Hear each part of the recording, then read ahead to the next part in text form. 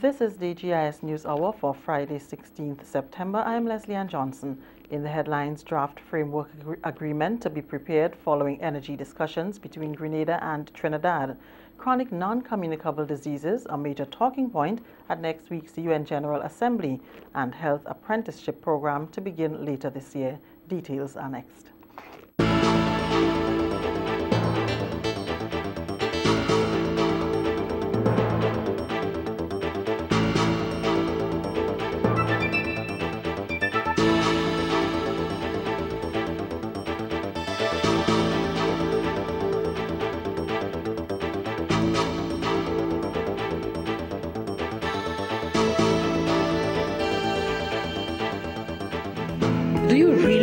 Save on the cost of posting? Grenada Postal Corporation is the answer. We offer convenience, online tracking, reliability, on-time delivery, and of course unbeatable prices on express parcels and registered mailing. Ask about our online visa application and notification by email service. Grenada Postal Corporation, a member of the UPU, the world's oldest network. Send, receive, delivered. Hats off to the men in boots. They've heard your cries for fresh, sweet, homegrown bananas, just like the good old days.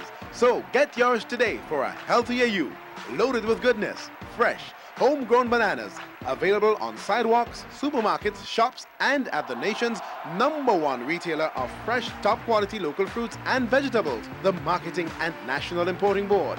Welcome home local bananas, and remember, Hats off to the men in boots, our nation's farmers.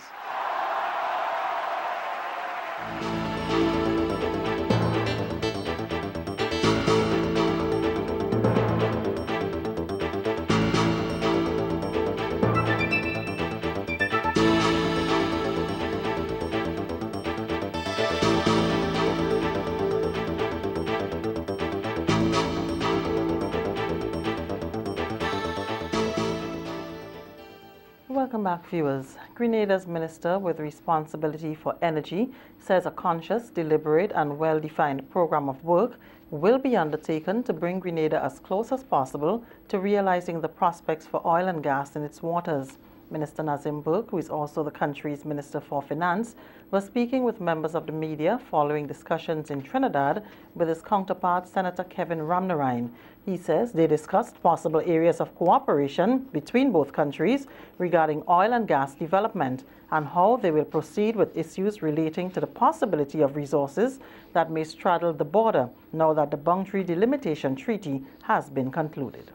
One of the things that we talked about in particular was the possibility of undertaking and the likelihood of undertaking joint seismic work, where we will do seismic surveys uh, in and around the relevant portions of Grenada's waters so as to explore what reserves, if any, we may have and to determine whether and to what extent there may be opportunities for joint development of our resources or the unitization of uh, certain prospects that may be found. We talked about uh, the need for us to develop a joint work program uh, for the two countries uh, in oil and gas exploration and possible exploitation over the next 12 months, uh, joint program of collaboration, I should say. And we also discussed a framework agreement that will cover um, the areas of cooperation between the two countries, especially as they relate to training of our young persons and uh, generally how the two countries are going to cooperate as we go forward. So this was an extremely historic uh, opportunity for us. We are very pleased with the way the discussions went and uh, we've agreed among other things that uh, joint technical teams from both Trinidad and Grenada will work together uh, in the implementation and development of further work as we go forward. So this was a very important meeting for us in Trinidad and Tobago. It was agreed that a draft framework agreement will be prepared and reviewed by both countries before the end of the year. And as a matter of priority, joint seismic studies will be conducted in the areas of interest. At the moment, uh, the Trinidad side is going to prepare a draft framework agreement for consideration by uh, the Grenadian side. So uh, they have already indicated that uh, they're, they're in very advanced stages of completing that draft at least for their internal discussions. Uh, the Ministry of Foreign Affairs uh, on their side is responsible for the draft. And as soon as that is uh, made available to us, we will consider it internally and then, of course, engage in uh, negotiations as to the content of that agreement. A Grenada technical team will be put together to work with its Trinidad counterparts to prepare and expedite a joint work program for the next 12 months. Climate change, security and counter-terrorism measures are just some of the major issues that will be discussed when world leaders meet from next week Monday for the 66th General Assembly of the United Nations. Prime Minister the Honorable Tillman Thomas will lead a delegation of government ministers to the meeting.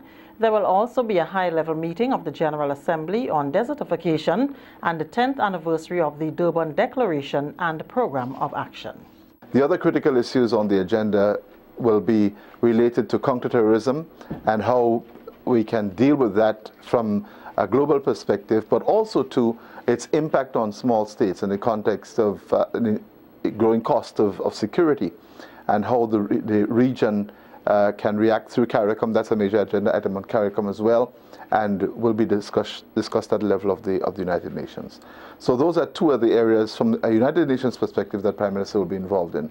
In addition to that, while he's in New York and uh, he will be attending the uh, a meeting of the CGI, the Clinton Global Initiative, and that will speak to issues of how the how world leaders can position their countries and their representation in dealing with issues that are critical on the social agenda, issues of job creation and employment, um, issues of, uh, of, of, drought and, and, and farming and disease, issues of ensuring that we can uh, stimulate food security, not just from a local perspective and not from an island perspective, but certainly from a global perspective. So the Prime Minister will be, will be in those discussions. That's Richard Simon, the press secretary to the Prime Minister. He will also be part of the Grenada delegation. There will also be meetings on the fringes of the summit, the details of which are now being worked out. There will be some time for that because, of course, the Prime Minister will not be attending every meeting, but so certainly he'd like to meet on the fringes with some, some of the organizations. In fact, I know, for example, that one is being lined up with the Nature Conservancy um, in the context of promoting tourism and promoting green tourism. And Grenada certainly is interested in, in that. And I know that the, the Nature Conservancy has planned, uh, Conservancy rather, sorry, has planned a meeting with, with the Prime Minister to discuss that as an issue. So we expect that there, there will be a lot of discussions that concerns environmental issues um, given the importance of that in the world. That's totally outside and a part of the global warming question, but certainly the protection of the environment issues, uh, I'm sure, that relates to how Grenada fits in with its global, with its, uh, its, its carbon footprint will certainly be um, on the agenda of some of those side meetings that would take place. Palestinian leaders have said that they will formally request recognition of their state and full membership of the UN, despite strong U.S. opposition amid warnings that such a move would jeopardize future talks. Mahmoud Abbas, the Palestinian president, will personally present the application to the UN Secretary-General Ban Ki-moon before the UN General Assembly opens next week. Meanwhile, health experts and leaders from as many as 193 nations will meet at the United Nations on Monday and Tuesday to discuss strategies to combat chronic non-communicable diseases. The diseases include hypertension or high blood pressure, diabetes and cancer. It will be the first time the UN is focusing on the major killer of most people. Health Minister Senator Ann Peters told the Government Information Service there is need for serious discussion on the subject which takes a toll on the region's productive sector. The United Nations will be looking at um, a policy direction and a framework for going forward in how us, as, as nations of the world, address those issues of chronic non-communicable disease because they eat up a large portion of the health budgets around the world. Um, following that meeting, I am going on to Washington, D.C. to attend the first board meeting of the Caribbean Public Health Agency. That's an agency that's coming together to pull all of the supporting institutions of CARICOM, i.e. CAREC, CEHI, and a couple of those others. They're all going to be pulled under one unit called the Caribbean Public Health Agency, and I am going to be serving on that board for one year in the initial stage. I then proceed to um, to participate in the health ministers meeting as part of the preparatory process for the PAHO annual meeting, which is going to follow through on the 26th to the 30th of um, 30th of September. So I have a, about four meetings back to back. The high level meeting on chronic non-communicable diseases, the, the Caribbean Public Health Agency meeting, the health ministers meeting, the meeting of the board of directors of CEHI, and then the PAHO meeting. Prime Minister, the Honorable Tillman Thomas, has pointed to the importance of efficient management for positive growth of the economy.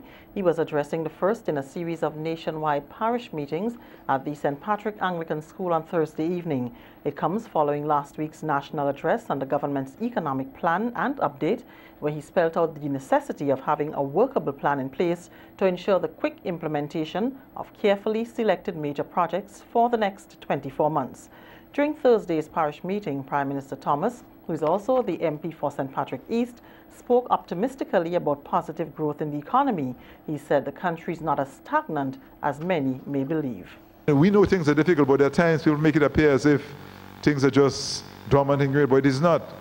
There are lots of small businesses are being operating and creating uh, small uh, employment.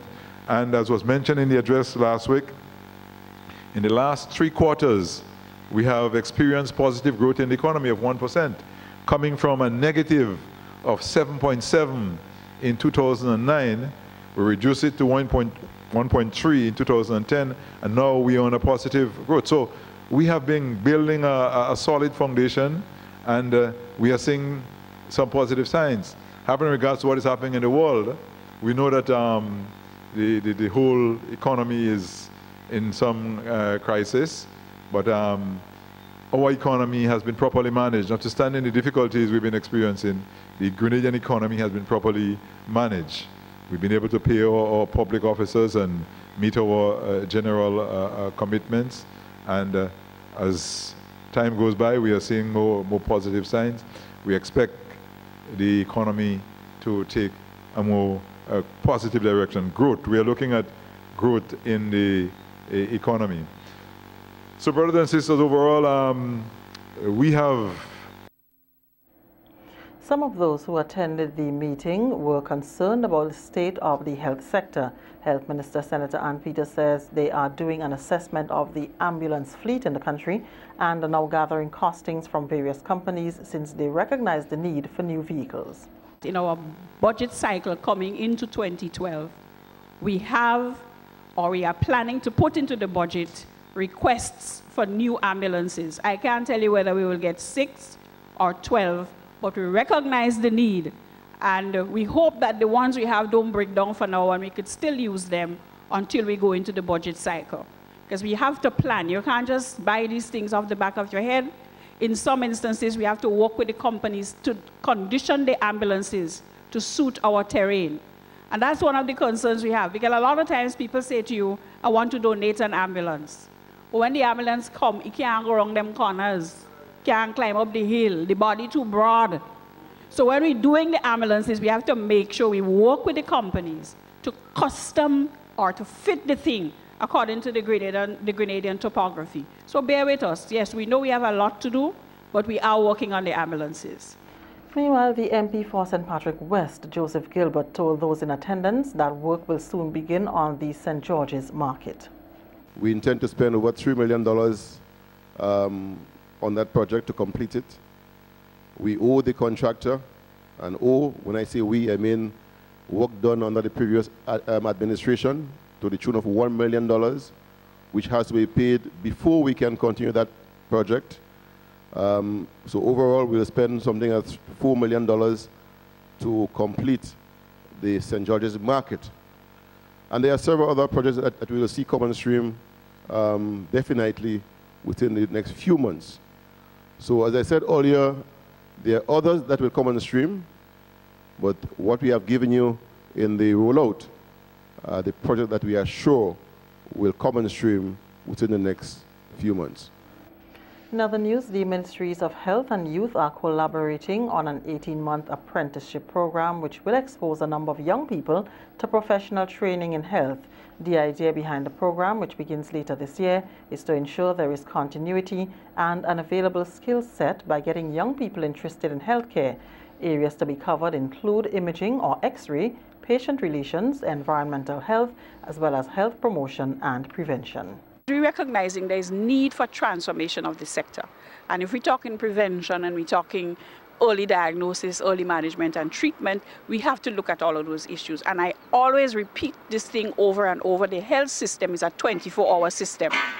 So we are looking at ensuring that our allied support services will have to operate on a 24-hour basis. We can no longer run a system where the X-ray technologists are working 8 to 4. People don't stop getting sick, uh, sick after 4 o'clock. But to do that, you have to plan for the human resource needs of the sector.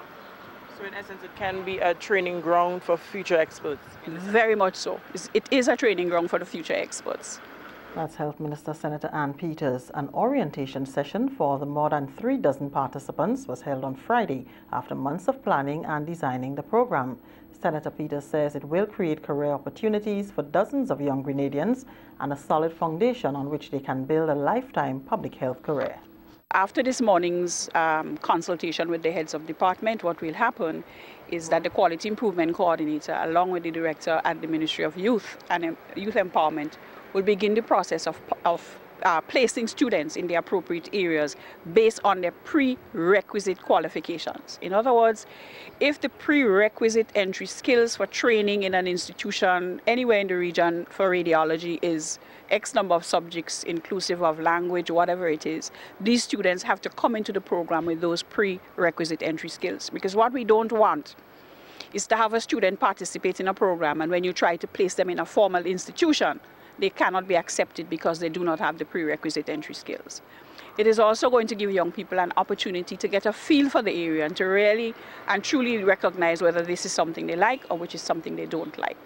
So it's going to be an 18-month program um, where we partner with the Ministry of Youth, and at the end of it, students will get um, the necessary skills certificate. And of course, we in the ministry will be working feverishly to make the necessary arrangements to see all the vacancies that are available and where we can fit them as, as beginning um, professionals. You're watching the GIS News Hour. We'll be right back.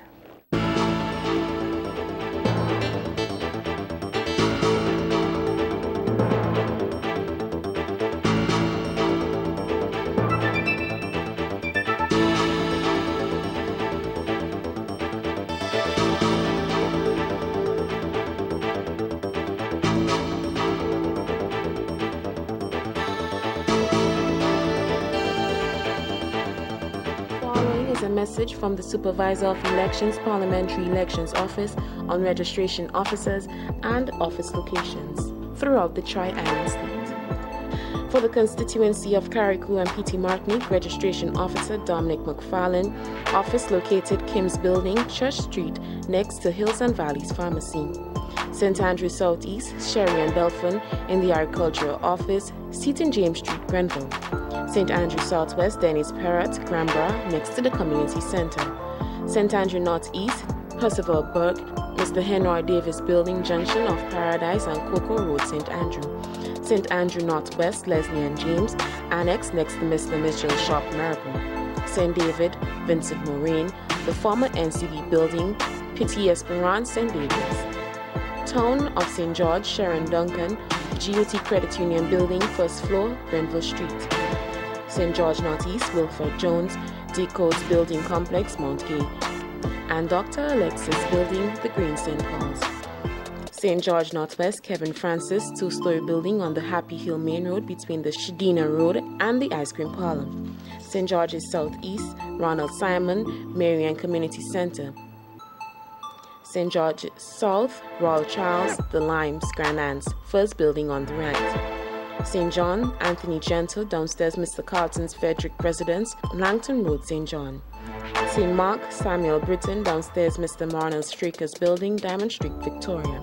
St. Patrick East, Leith and Henry, IDC Building, Sauteurs, and St. Patrick West, Ian James, IDC Building, Sauteurs. It's a message from the Supervisor of Election, Parliamentary Elections Office.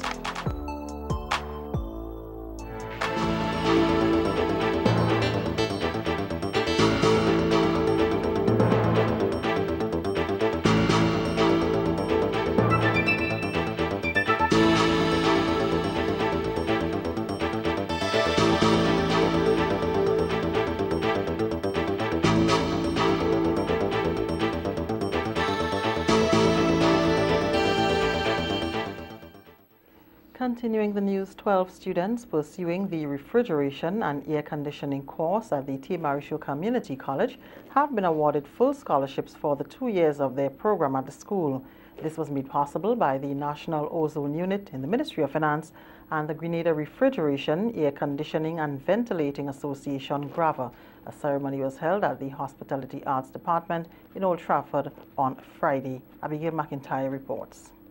Second time that the unit has embarked on such an initiative where they provide tuition cost, books and uniforms for the students, while Grava provides toolkits containing the basic equipment needed. The T.A. Marryshow Community College also received a donation of state-of-the-art refrigerants to aid in teaching the course, as well as a check. This initiative is part of a broader thrust by the ozone unit as part of the Montreal Protocol to phase out all ozone-depleting substances. Though Grenada is not a producer of these substances, it is highly consumed in the refrigeration and air conditioning sectors. So by providing assistance to students and the school, they believe that a process of building an ozone-friendly workforce will be easier. Last year, 10 students were awarded a scholarship, and this year, out of about 20 plus applications, 12 met the criteria. National Ozone Officer Leslie Smith says the process was fair and transparent and believes the students chosen are well deserving of it. Together with myself, we sat together to go through all of those entries, those applicants we had, to come up with a final list of names. And let me say to you that amongst the criteria used for coming up with the names of students, we had to look at, first of all, the students meeting the TAMCC entry-level requirements based on the number of subject passes and English included. We also look at the households they came from, the number of persons in the households, the number of persons that were working in the households. We also look at the geographic representation, and I'm happy to say that we have somebody from Carriacou who will be awarded today. And we also look at gender equity, because we had female applicants also applying for the scholarship. And amongst all of these, together with the essays that they had to write, we were able to come up with these 12 students who will be presented today. Today's exercise, as I said earlier, is part of Grenada's hydrochlorofluorocarbons phase-out management plan. It's a plan that we, we launched in June of this year.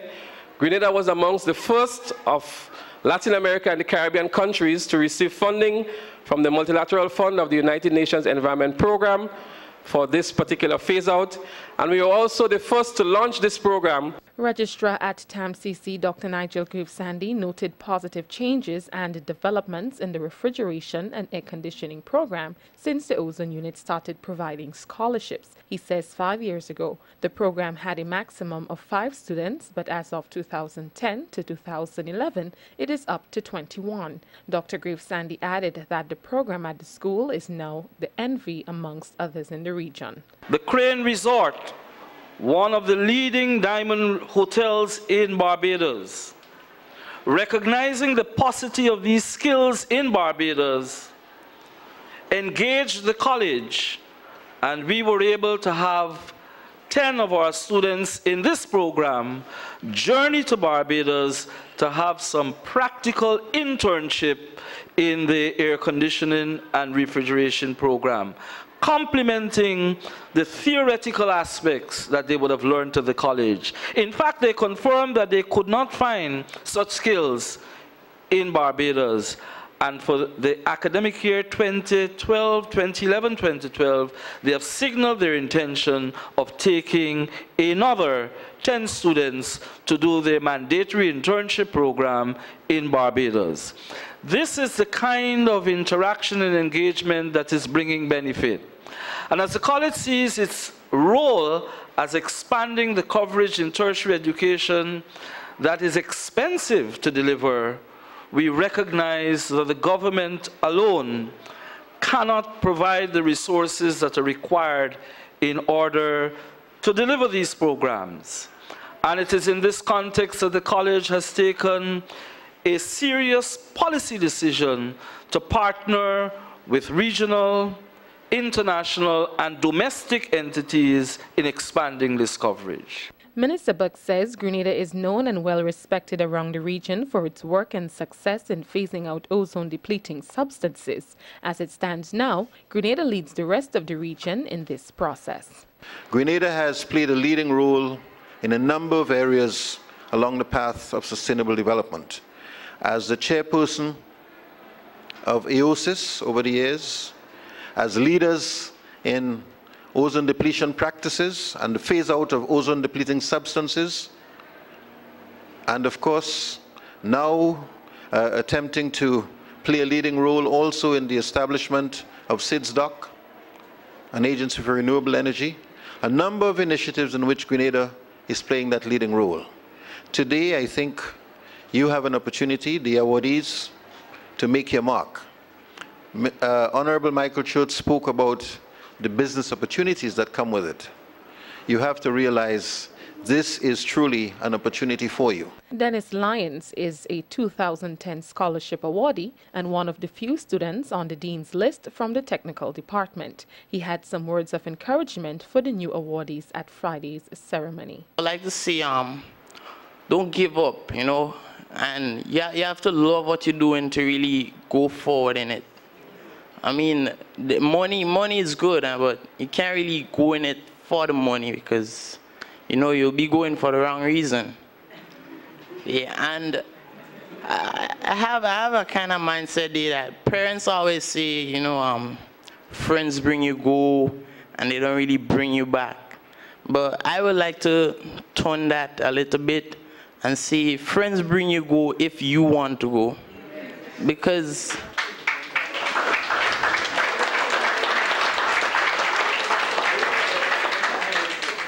because it, it all begins with you and it, it's your mind. They, they can they could say things, but they can't really come into your mind and make you do what you don't want to do. So they bring you go if you want to go. So it's up to you to know where you came from, to know where you're going, and just keep a focus, you know. For the GIS News Hour, I am Abigail McIntyre reporting. A major contribution from Republic Bank Grenada Limited to the Resource Center for the Blind. The center received two closed-circuit televisions, six braillers and 50 cartons of braille paper, all valued at $63,480. This was handed over during a ceremony at the center on Friday. Principal Vernice Moraine is happy for the gift. This contribution will go towards the purchase of basic essential and invaluable um, materials and equipment for the blind and visually impaired children, and it is very timely. As a staff at the Resource Center for the Blind, we've chosen as our theme this year, blind and visually impaired children on the road to independence. I want to assure you that your decision to answer our call was a good one. And your extremely generous contribution today will make a difference in the life of our students.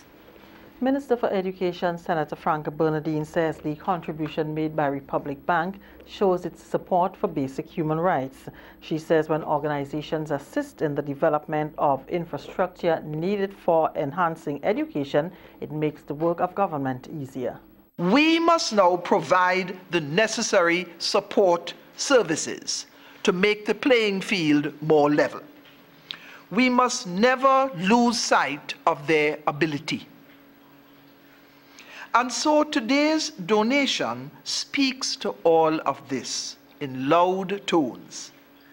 Today's Braille equipment, with all its modern technological advances, will make it possible for so many more visually impaired persons to become empowered through education. It would open the doors, therefore, to employment opportunities it would allow greater participation in all activities, writing, editorials, communication skills generally. It could potentially change a person's uh, life around to a new beginning. Friday's handing over forms part of Republic Bank's Power to Make a Difference program. General Manager Donna Lander says it's not just about giving money but caring for people in the communities they serve. As a financial institution, we pride ourselves on being not just a bank with banking products and services, but an institution with a heart that cares. It is therefore extremely gratifying for us to be able to make this contribution to the center. To the students of this center, you have shown, despite the daily challenges associated with visual impairment, how determined you are to overcome these challenges and to make a meaningful contribution in your respective communities. Your resilience and determination to educate yourselves in an effort to be more readily, to more readily adapt to everyday life are most commendable and deserving of support. Virgin Atlantic has confirmed its commitment to the Caribbean market by adding more flights and premium economy seats to the region. According to Travel Daily UK Online, the airline will increase its capacity this winter, including a second weekly flight from Manchester to Barbados, a third weekly flight between Gatwick and Havana, plus a second weekly service to Tobago and Grenada will also be added. Speaking at the Caribbean Tourism Organization's State of Industry Conference in St. Martin, Edmund Rose, Director of Commercial and Revenue Planning at Virgin Atlantic, said the changes in on-board product would bring more high-end leisure travelers to the eight Caribbean destinations it flies to.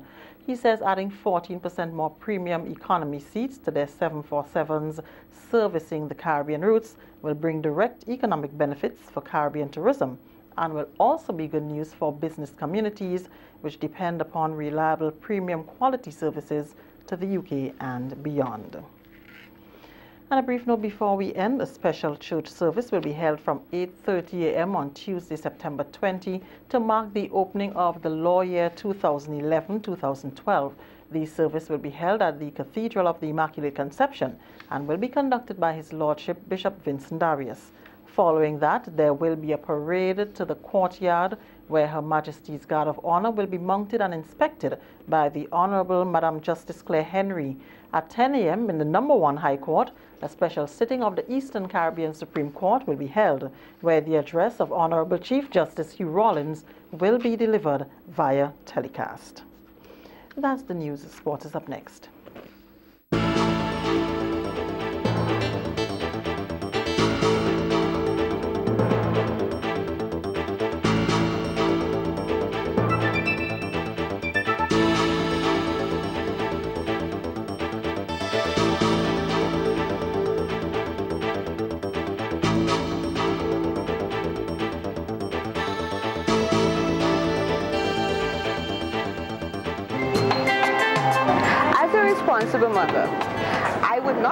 Caught off guard for this hurricane season. Mr. Ivan and Miss Emily taught my family and I a serious lesson.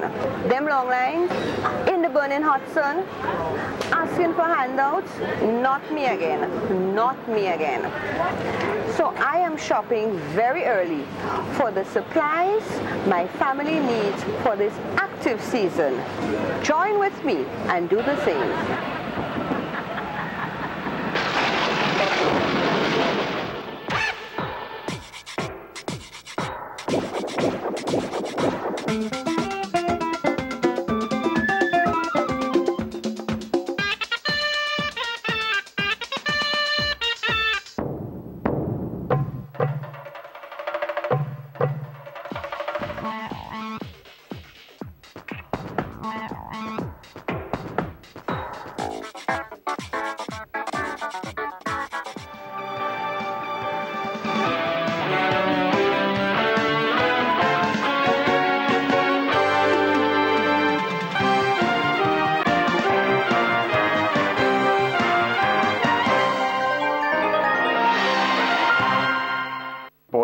Fans a night of dominance for Jamaican athletes in Brussels. Yohan Blake threatened Usain Bolt's world record when he ran 19.26 seconds to win the 200 meters at the Memorial Van Damme Diamond League meeting in Brussels. Blake's time is the second fastest ever behind Usain Bolt's 19.19 seconds. American Walter Dix was second in a personal best time of 19.53 seconds, while Nickel Ashmeade finished third, his time 19.91 seconds. Jamaican athletes dominated the sprint events with Bolt setting a world leading mark of 9.76 seconds win in the men's 100 meters dash, a time that improved on Asafa Powell's 9.78 seconds year best. World Championship finalist and relay gold medalist Nesta Carter was second in 9.89 seconds, while another Jamaican, Lerone Clarke, finished third, his time 10.05 seconds. However, American world champion Carmelita Jeter clocked 10.78 seconds to win the women's 100 meters, beating Jamaica's Veronica Campbell Brown, who had a time of 10.85 seconds to finish second. Well, the Olympics is still another 12 months away, well, just under 12 months, and speculations are continuing as to whether or not Grenada's Kirani James can run the fastest time ever. Michael Jordan Johnson of the United States, he has the fastest time for the 400 meters, that is 43.18 seconds followed by another American, Butch Reynolds, his time 43.29 seconds. One man who knows Kirani very well is his first coach, Albert Joseph. In 2009, um, Clyde Hart was the coach of Michael Johnson and Jeremy Wariner came to Grenada to try to recruit Kirani. Mm-hmm. And from what he was saying, is Kirani, he think Kirani is the person that going to run 40, the first person that's going to run 42. 42. Mm-hmm. That's, That's what he said to us. Yeah. Who is he? Who said that? Clyde Hart. Clyde Hart. Mm-hmm. So he's, he's he was the coach of Michael Johnson and Jeremy Wariner. Okay. So, so, he came here and you, you, you met him? Yes. Right. So they would have seen him from the world junior From youths, juniors and so on. So at that point he attracted the best in the world. Right. That's interesting. You, when you started this program, you, I mean, you could have seen yourself being approached by these superhumans in terms of athletics. No. Uh, coming to Gouyave, knocking at your door to find out about what a primary school um, boy and the GBSS. Uh, at the time, no. It, it, it certainly, uh, I would think, is a confidence boost and it tells you a story. Because you are what IAAF level level five level five coach, yeah. right? And um, to have these gentlemen coming to knock at your door, it's really an achievement. Yeah, well, the the IAAF courses. I mean, some of the other organizations that have courses, they think that the IAAF courses are not are not that good. But when you go to meets like World Youths, World Juniors, and so on, most of the the athletes that win, they are being coached by the coaches that did the IAAF courses. Grenada's Jason Roberts, Blackburn Rovers, will be in action on Saturday in the British Premier League. They will be up against Arsenal. It's not been a great season for Arsenal. They have struggled, but so too have Blackburn Rovers. They picked up their first point in the BPL last Saturday, and Roberts is hoping that they can continue on a part of success against Arsenal it's a big challenge. Obviously, Arsenal, everybody knows what a good side they are, and they're going through a bit of a hard time now. But sometimes that can be worse. You know, they can react at any time with the players they have. People like Van Persie, Walcott, Arshavin. These are all top players. So we're going to have to be very, very um, disciplined in what we have to do because they are top side, no doubt about it. But as well, there are opportunities to get at them as well, and uh, that's what we've been focusing on today. That's what we were focusing on yesterday. So um, we're very much looking forward to the game. Arsenal, as we indicated, they have had a very poor start to the season, winning just one fixture. And Roberts think that his team, Blackburn Rovers, can put the pressure on Arsenal. During the past few weeks, Arsenal, they have lost several of their key players. I think any time you lose players like that, it's going to be tough. But they have a good young squad. And the thing with top players is they always react. When things are going badly, they always react So uh, we don't want it to be this week. We hope for them to start reacting next week. Um, hopefully, it's a good opportunity for us to try and get something. But um, we have to give them the respect. This is a side that uh, that is doing well in the Champions League and is a top four side, in my opinion. So always it's going to be hard in this sort of situation for us. But um, we have to remain positive. We've beaten Arsenal before at uh, um, Ewood Park. So let's remain focused that we can do it again. Regional Super 50, that's how the West Indies Cricket Board has rebranded its limited overs tournament. In addition to the new name, the Regional Super 50 will include several new super features which are geared towards making the game more exciting for fans and more engaging for the players. Principally among the innovations will be a new rule which will allow two bowlers on each side to bowl a maximum of 12 overs each during a 50 over game. The remaining bowlers can bowl a maximum of 10 overs each. The overs will be reduced proportionately in the event of a shortened game. Previously, bowlers were allowed to bowl a maximum of 10 overs each. Another major innovation in the regional cricket tournament will be the use of two balls a new ball will be used by bowlers at each end of the pitch. No longer will all bowlers have to share the same ball throughout an innings. A third innovation will be that the batting and bowling power plays will have to be taken between the 16th and 40th overs. Traditionally, since the introduction of the power plays, the batting sides have taken the batting power plays after the 40th over. The regional Super 50, which will be played in Guyana from October the 18th to the 29th, will also see the removal of the mandatory close catcher rule from four fielders to be allowed outside of the circle in the non-power play overs. The Champions Trophy and several trophies will, for the best players in the tournament will be named after legendary West Indian players. The names of the legends will be announced in the coming days. Well, let's go back to football. Manchester United boss Alex Ferguson says it would be wrong to dismiss Chelsea's chances of winning the English Premier League this season. United, along with local rivals Manchester City, hold 100% record after four games and meet Chelsea at Old Trafford on Sunday. Chelsea will also want to test United defenders and see how they react collectively because the season has seen a cruise thus far.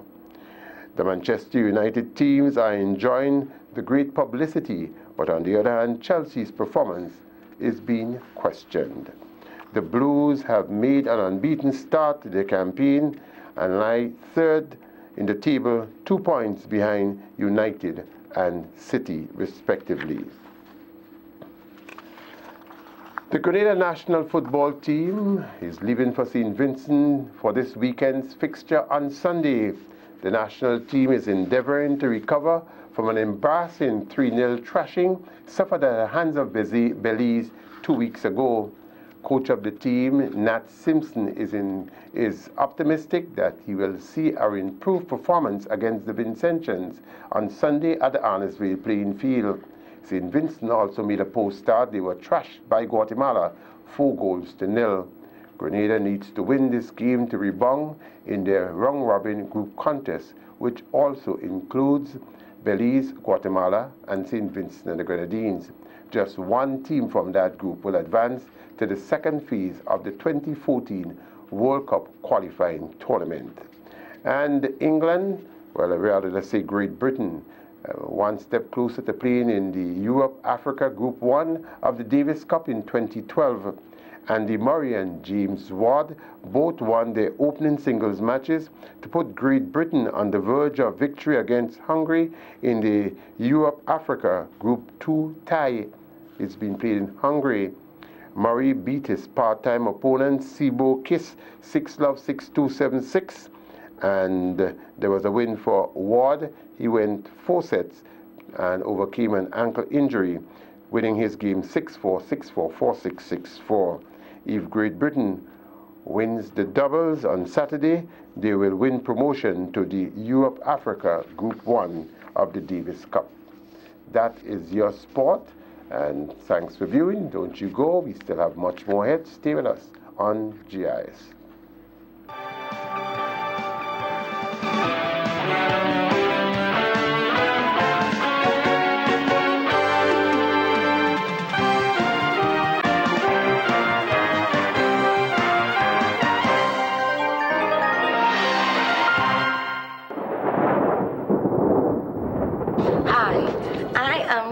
A student of the St. Joseph's Convent, St. George's. Do you know that the hurricane season runs from June 1st to November 30th? Hurricanes are known for their destructive winds, storm surges, and heavy rainfall which may cause flooding. Therefore, it is important to keep all drains and streams clean from debris at all times. Prepare your home and all supplies well in advance. Protect your loved ones before, during, and after the hurricane. Assist your family, neighbors, and community. Let us ensure that Grenada is a safe place before, during, and after the hurricane. Hi, I'm Rose Bagwan, a student of the Beacon High School. Do you know what you should do during a hurricane? Allow me to share a few tips with you. Listen constantly to your local radio station or television for hurricane progress reports. Keep a supply of flashlights, extra batteries, and bulbs at hand. Avoid candles and kerosene lamps. Stay inside, away from windows, skylights, and glass doors. And remember, do not panic.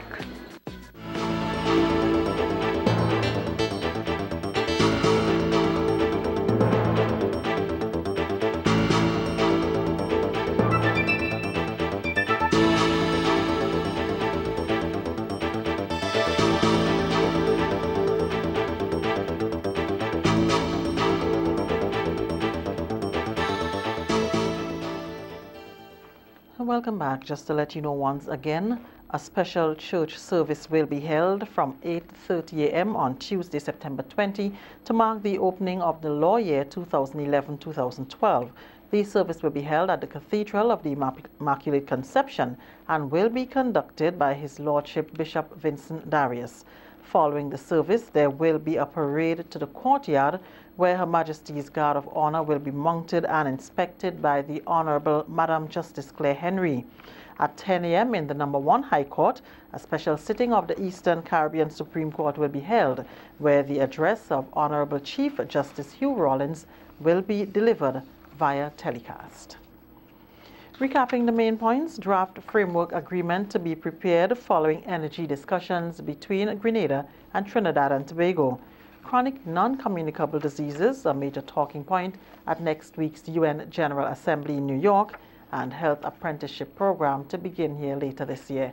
That is the GIS News Hour. I'm Leslie Johnson. On behalf of all those who made it possible, we thank you for viewing.